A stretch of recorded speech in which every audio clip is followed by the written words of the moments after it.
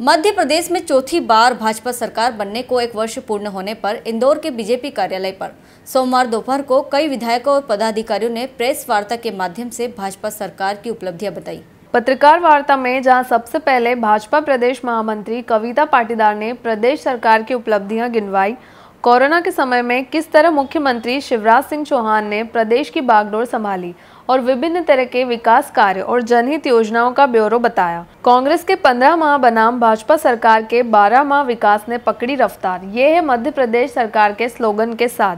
भाजपा सरकार के एक वर्ष पूर्ण होने पर आयोजित पत्रकार वार्ता में विधायक महेंद्र हार्डिया, आकाश विजय वर्गीय मालिनी गौड़, कविता पाटीदार इंदौर जिला अध्यक्ष डॉक्टर राजेश सोनकर मधु वर्मा मौजूद रहे।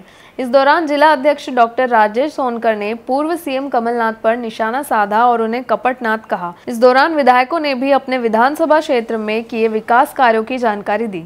इंदौर से ब्यूरो राकेश सच्चर के साथ सतीश शर्मा की रिपोर्ट। तेईस मार्च 2020 को मध्य प्रदेश में एक बार फिर माननीय शिवराज सिंह जी चौहान की सरकार बनी। और मैं समझता हूँ कि इस एक वर्ष में शिवराज सिंह जी के नेतृत्व में जिस तेज़ी से मध्य प्रदेश का विकास हुआ है, नगरोदय के साथ साथ ग्रामोदय में भी उतने ही तेज़ी से विकास कार्य माननीय शिवराज सिंह जी के नेतृत्व में हुआ है।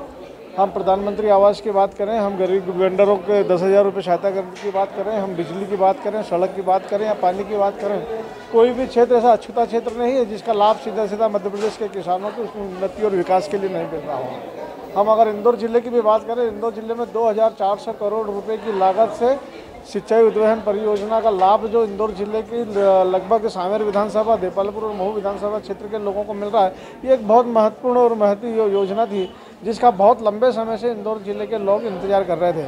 मात्र एक वर्ष के छोटे से कार्यकाल में इतनी बड़ी योजना को प्रारंभ कर देना, मैं समझता हूँ कि ये एक बहुत ही उल्लेखनीय और बहुत ही प्रशंसनीय कार्य है। उसके अलावा जिस प्रकार से बिजली के क्षेत्र में भी एक वर्ष में जो प्रयास माननीय शिवराज सिंह जी की सरकार में किया है हम ओंकारेश्वर परियोजना जो विश्व की सबसे बड़ी परियोजना है, है जिसका सर्वे चालू हो गया है इसका बहुत लंबे समय से मध्य प्रदेश की जनता इंतज़ार कर रही थी। इसी प्रकार से और ऐसे बहुत छोटे छोटे जो जो योजना है जो बहुत लंबे समय से इंतज़ार कर रही थी उसका भी काम आदरणीय शिवराज सिंह जी के नेतृत्व में तेज़ी से चालू हुआ है। तो मैं समझता हूँ एक जो आशा और एक उम्मीद जो मध्य प्रदेश की जनता को और किसानों की जो टूट सी गई थी पिछले पंद्रह महीने में उस आशा को फिर से जगाने का जो काम शिवराज सिंह जी की सरकार में हुआ है।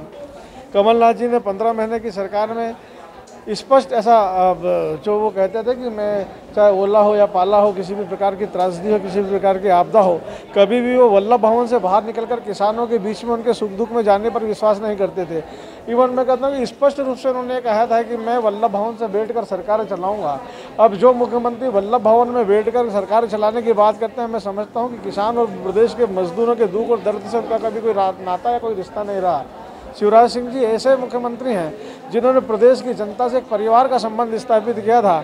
उनकी हर योजनाओं में कहीं ना कहीं हम देखते हैं तो एक दर्द ऐसा छलकता है। जो एक गरीब परिवार चाहे वो बुज़ुर्ग हो चाहे महिला हो उनसे नाता कायम करने वाला काम करता है। तो मैं समझता हूँ कि एक वर्ष मध्य प्रदेश की जनता के लिए उपलब्धियों वाला है खुशियों वाला है। हर वो मुरझाए हुए चेहरे एक बार फिर हमको खिल खिलते हुए दिख रहे हैं। एक बार फिर आशा और उम्मीद है मध्य प्रदेश की जनता के चेहरे पर हम दिख रहे हैं। कांग्रेस तो अनेक आरोप लगा रही है लोकतंत्र बचाओ। हर चीज़ में कीमत बढ़ी है। तेल जो एक सत्तर रुपये लीटर था एक सौ चालीस रुपये लीटर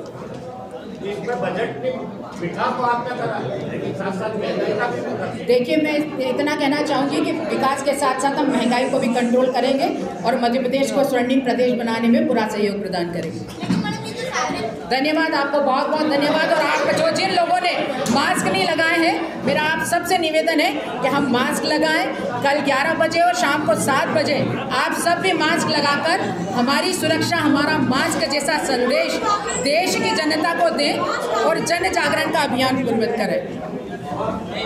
सभी को बहुत बहुत धन्यवाद।